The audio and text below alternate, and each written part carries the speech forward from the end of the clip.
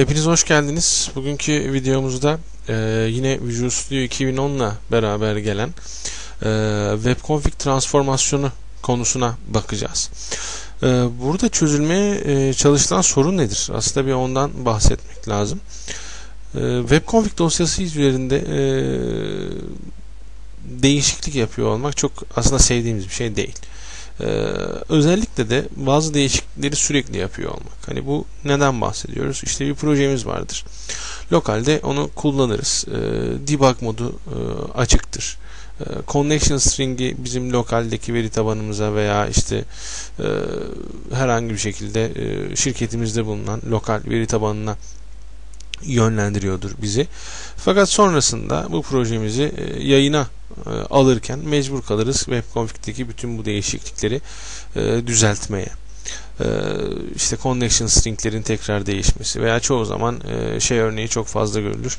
2-3 tane connection string tutulur. Sadece connection stringlerin adları değiştirilerek e, konfigürasyon değişikliğine yönleniriz. E, eğer web config dosyanızı hani o süreçte değiştirmediyseniz belki lokaldeki kopyayı web'e atmayabilirsiniz. E, ama sonuç itibariyle sürekli bu dosya e, kritik e, bir yerde durur ve sürekli değişiklikler yapmak zorunda kalırız. Oysa e, ne kadar güzel olurdu bütün bu değişiklikleri e, Visual Studio kendisi halletseydi dediğimiz noktada 2010 ile beraber web config transformasyonu konusu karşımıza geliyor. Peki nasıl oluyor bu işler? Visual Studio'da e, tamamen sıfırdan yepyeni bir e, web projesi yarattım. Ve bu proje içerisine baktığımızda zaten sadece web config'imiz geliyor. Ee, ve ben çift tıklayarak hani o web config'i bir açalım. İşte compilation debug true demiş. Debug modu şu an açık durumda. Ve onun gibi diğer namespace'leri de rahatlıkla görebiliyorum eklenmiş olan ekstradan. Şimdi e, burada önemli olan şey aslında birincisi e, bu göründüğü kadar olmaması hikayenin.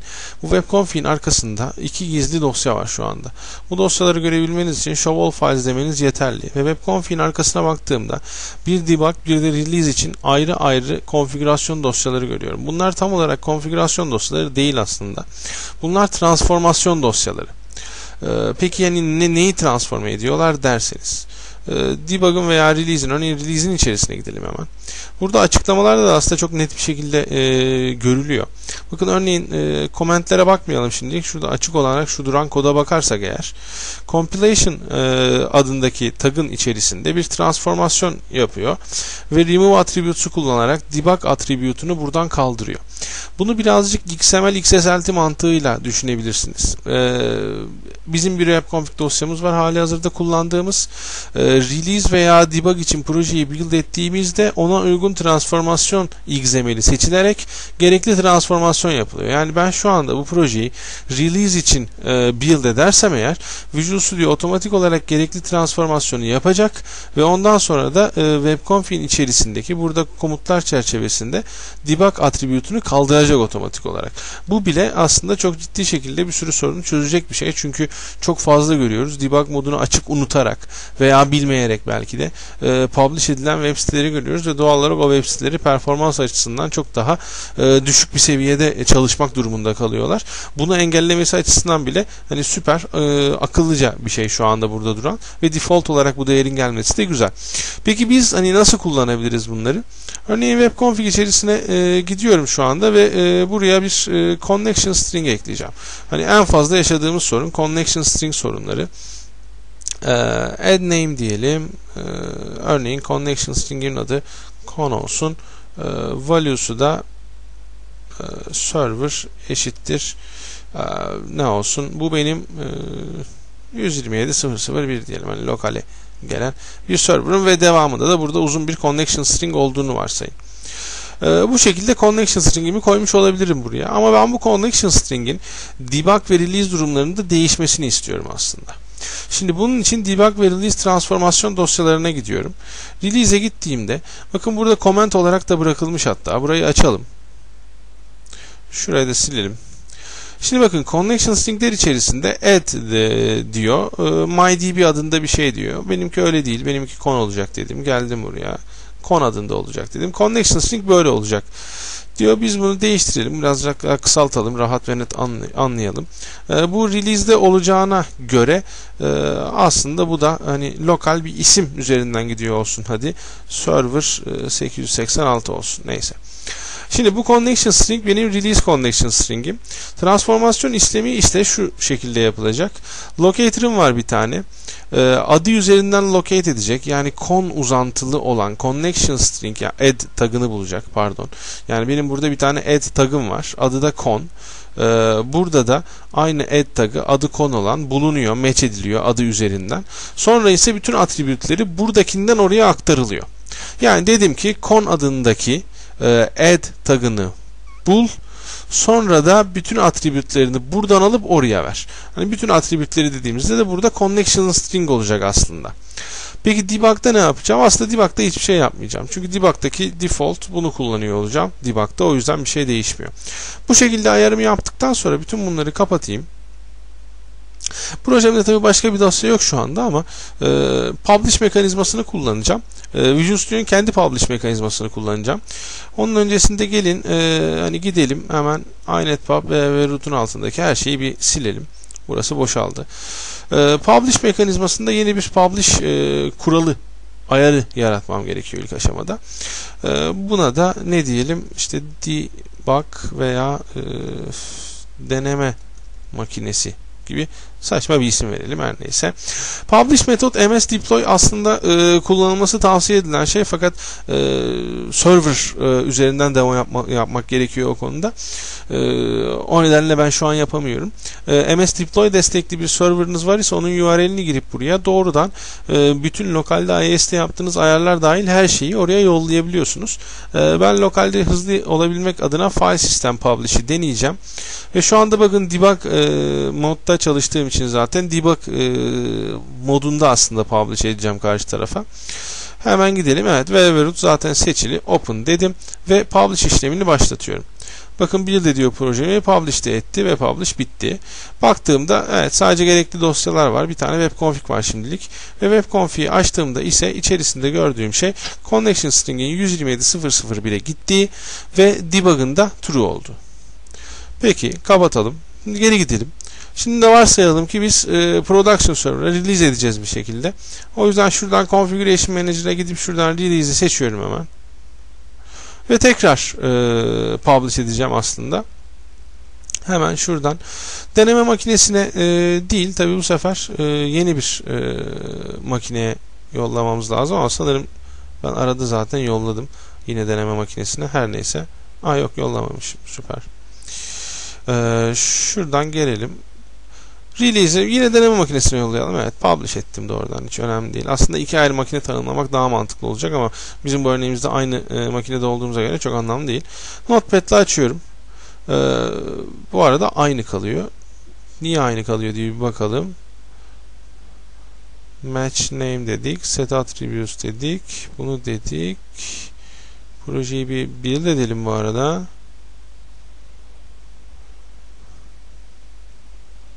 Tekrar publish edelim.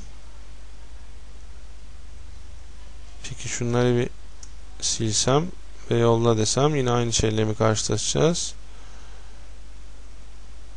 Release'de bunu match etmesi gerekiyordu aslında. Bir saniye. Oh, şurada bir sorun var. Çünkü ben burada value yazmışım yanlışlıkla. Ama buradan value tagı bulamadığı için match edemiyor doğal olarak. Ee, evet. Şimdi publish edelim. Gelelim bakalım.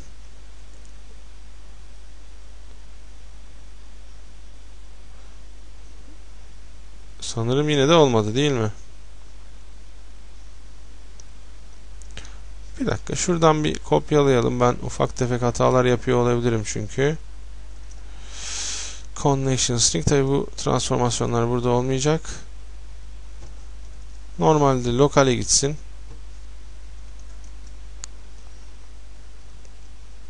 Evet. Şimdi build edelim. Ve release'i publish ettik. Bakalım. Server 886 geldi. Ee, debug'ı publish edelim bir de.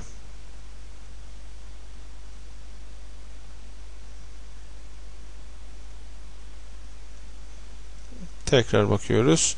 Evet, data source lokal dedi. Hatta şu an debug true burada. Tekrar e, release'i publish edersek onu da e, kaldırması lazım. Bakalım kaldırıyor mu?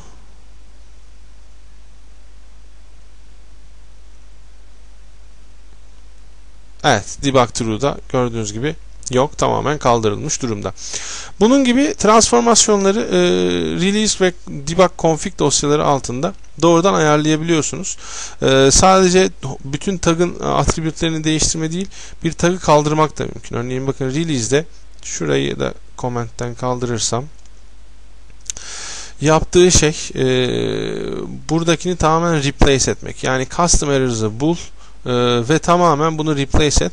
Burada match etmenize gerek kalmıyor custom errors'ta. Çünkü zaten custom errors tagı sadece bir tane olabilir web config'te. Ee, o yüzden transformasyon işleminde replace yani custom errors'da ne görürse görsün bunu replace edecek ve e, siz release ederken ona göre web config dosyası yaratacak. Hani bu iki tane transformasyon dosyası zaten hiçbir zaman server'a yollanmıyor. Ee, her seferinde siz publish ettiğinizde Visual Studio o transformasyonu kendisi gerçekleşip ona göre web config'i yolluyor. Eğer isterseniz e, ekstra Hani sadece benim şeyim yok. Hani debug ve release'im yok. Ee, işte testing için başka bir durumum var. Test fazlarım var vesaire derseniz onlar için de ayrı ayrı gelip buradan yeni bir e, ayar yaratabiliyorsunuz diyelim.